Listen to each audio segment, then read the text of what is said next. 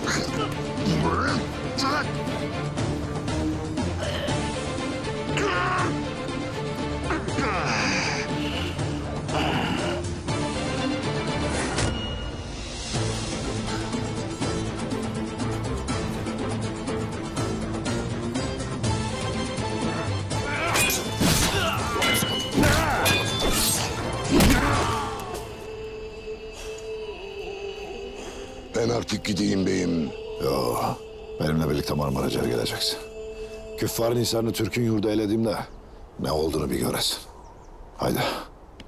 Buyruk beyimindir.